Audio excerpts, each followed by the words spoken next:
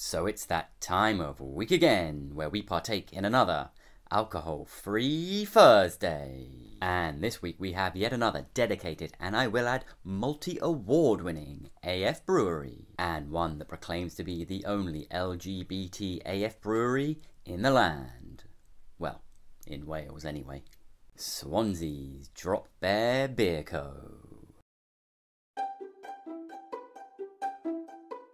Back in 2019, co founder Sarah McNeena, having recently jumped on the wagon herself, was noticing a distinct lack in quality of the AF beers she was now drinking, and as an avid beer lover, wondered if she could do a little better. So a crash course later, and the bear was born.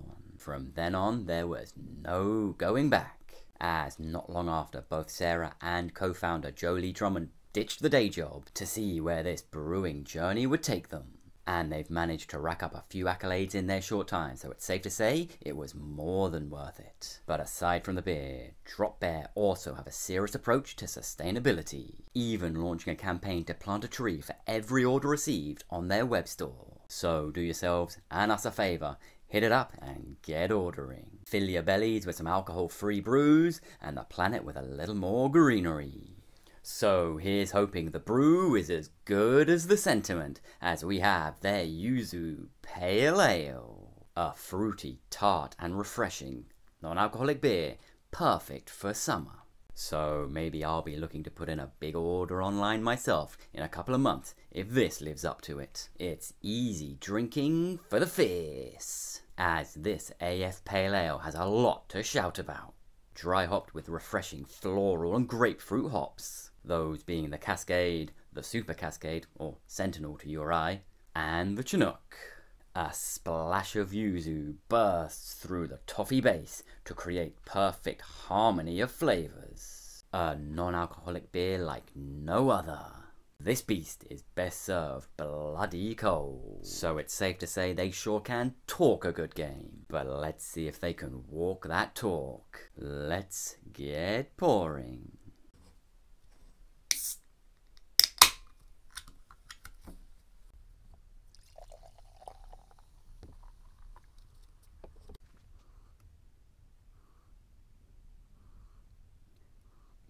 And it is very worty on the nose. Huge wafts of cereal like you've just opened a fresh pack of cornflakes. And there is some wheatiness in there too. Some subtle citrus notes, and you are getting a slightly toffee caramelized maltiness. And to look at, it is very, very clear with the colour of apple juice or something else.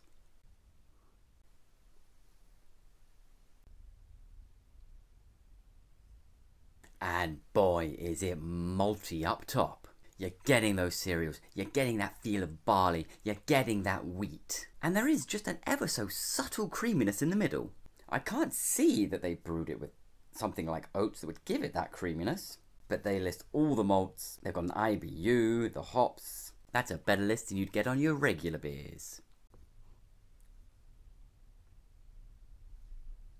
And then it does fade out with a really clean, citrus, bitter finish. And although they describe it as being tart, I wouldn't necessarily go as far as to call it that, but that grapefruit, that zesty grapefruit, is really punching its way into those top notes now to give it an even cleaner and more refreshing feel. And although it does have that spring water like mouthfeel, it's far less pronounced in this than it was in the last one.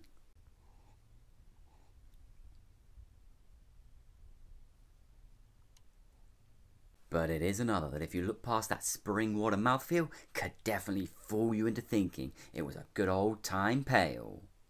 Just a really citrusy hopped one.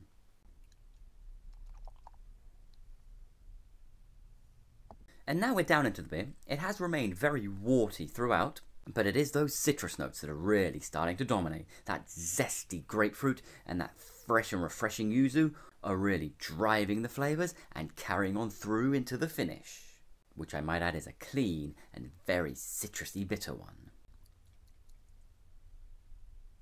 So this was again another interesting brew, and it definitely came a shed ton closer to replicating the true beer experience, albeit in a very worty kind of way. As even from the can you could have fooled yourself into thinking you were pouring yourself a bowl of cornflakes. Although, to be fair, there were some citrus notes in that aroma too, and an ever so faint toffee and caramel right in behind. But it's when you dive in you get a full feel for just how worty it is. But to be fair to it, they do take a bit of a backstep, and those big citrus notes start to take the lead. That yuzu, aided with those grapefruit notes, really start to carry the beer. And as those malty notes start to dance and blend, you almost got a subtle creaminess in there for a while. And then it finishes with a clean, zesty bitterness. A subtle bready note right in there too. But it's just that same old spring water like body that takes you out of the moment and not so subtly reminds you that something is just awry.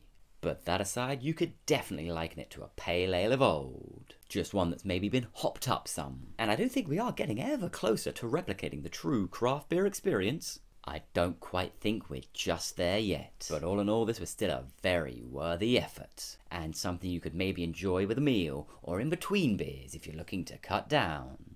Or if you're a little like me, maybe something to have in the fridge when you get in of a night out.